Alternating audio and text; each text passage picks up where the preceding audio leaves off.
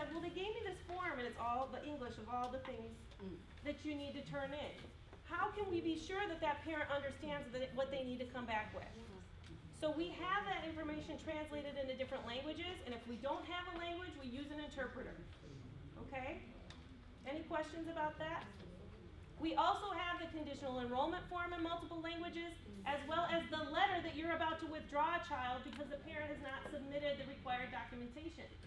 Right? Your warning letter of, you know, your baby's gonna be withdrawn from school because you didn't give us what we agreed you were going to. We've got that in Spanish for you to send to a parent. It's important that we tell them that they're gonna be withdrawn in their native language. So that we can ensure that we've done right by the child and the parent and letting them know what the requirements are. Okay? Um, I think that that's about it. This, we don't need to talk about that. In the PowerPoint are resources that we use to pull this information that we share with you that you can explore at your leisure, the law that governs our education of students, as well as contact information for people in our office.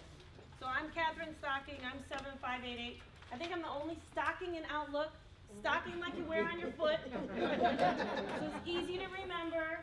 So if you need anything from us, if you have any questions, please feel free to reach out. Okay? And again, thank you, thank you, thank you so much for, for the work that you do. It's not an easy job and you don't get enough credit for it and I really appreciate it. So thank you. Thank you. Stockings, you got two questions in the. Can you ask your questions loud enough so everybody can hear you? She just needs a PowerPoint. Anybody else? Did you have another question? I thought so too.